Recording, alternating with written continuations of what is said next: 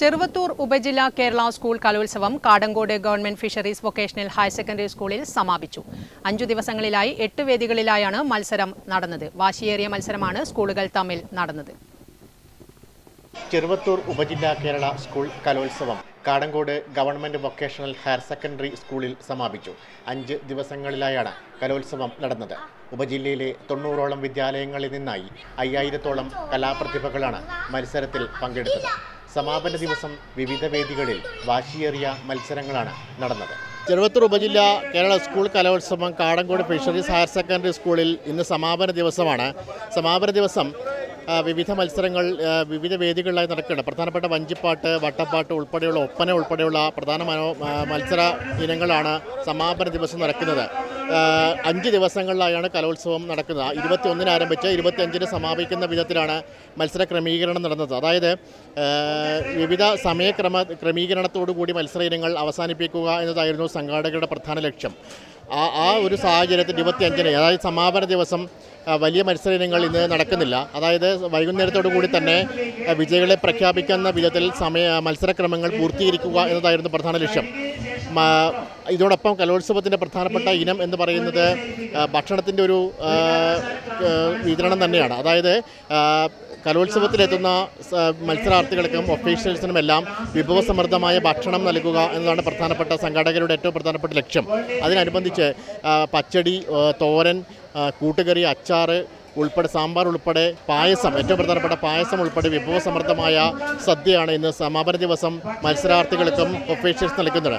ഇതോടൊപ്പം പ്രധാനപ്പെട്ട ഒരു സൂചിപ്പിക്കേണ്ട ഒരു കാര്യം പൊതുജനങ്ങൾ നാട്ടുകാരായിട്ടുള്ള ആളുകൾക്ക് ഉൾപ്പെടെ ഭക്ഷണം വിതരണം ചെയ്യുന്ന ഒരു സാഹചര്യം കൂടി സംഘാടകർ ഒരുക്കിയിട്ടുണ്ട്.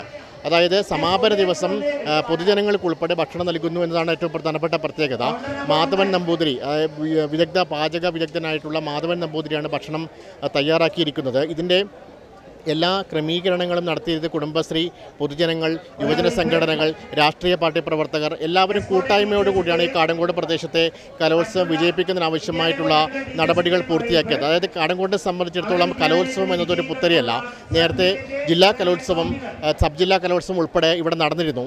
അതുകൊണ്ട് തന്നെ കലോത്സവം എന്നതൊരു ഒരു ഏതെങ്കിലും ഒരു ആശങ്കയോടെ കാണേണ്ട ഒരു കാര്യമായി കാടങ്കോട് പ്രദേശത്തുകാർക്ക് കാണേണ്ട ഒരു കാര്യമില്ല. അതായത് കലോത്സവം എന്ന അവരുടെ പ്രധാനപ്പെട്ട ഒരു വിഷയമായി അല്ലാത്ത ഒരു അവസ്ഥയിലേക്ക് എത്തിക്കഴിഞ്ഞിട്ടുണ്ട്. അതുകൊണ്ട് തന്നെ കലോത്സവത്തിന്റെ വിജയം എന്നത് സംബന്ധിച്ച് അവരുടെ ഒരു കൂട്ടായ്മയാണ്. എല്ലാവരും ഒത്തുചേർന്നുകൊണ്ടുള്ള ഒരു കൂട്ടായ്മ എന്നതോടൊപ്പം തന്നെ കലോത്സവത്തിന്റെ വിജയം അവരുടെ പ്രധാനപ്പെട്ട ഘടകമായി കാണുന്നു എന്നതാണ് ഇതിന്റെ ഏറ്റവും പ്രധാനപ്പെട്ട വിഷയം.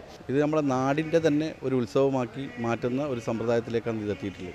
നമുക്കറിയാം കഴിഞ്ഞ കാലഘട്ടങ്ങളിലൊക്കെ ഇവിടെ ഏത് ഉത്സവം നടത്തുന്നുണ്ടെങ്കിലും അത് ജനങ്ങളുടെ എല്ലാം സഹകരണത്തോട് കൂടിയിട്ട് ഒരു മഹോത്സവമായി നടത്തിപ്പോകുന്ന ശരിയാണ് ഇവിടെ കണ്ടുകൊള്ളുന്നത് ഇപ്പോൾ നമുക്ക് ഇന്ന് നമ്മുടെ കുടുംബശ്രീ പ്രവർത്തകർ അതുപോലെ തന്നെ വിവിധ രാഷ്ട്രീയ സാംസ്കാരിക ആളുകൾ ക്ലബ്ബുകൾ ടീച്ചേഴ്സ് ഇവരൊക്കെ സഹായ സഹകരണം കൊണ്ടാണ് നമ്മൾ ഈ പരിപാടി ഈ കലോത്സവം ഭക്ഷണത്തിന്റേതായിട്ട് അതിഗംഭീരമായി നമുക്ക് മുന്നോട്ട് കൊണ്ടുപോകാൻ കഴിയുന്നത്.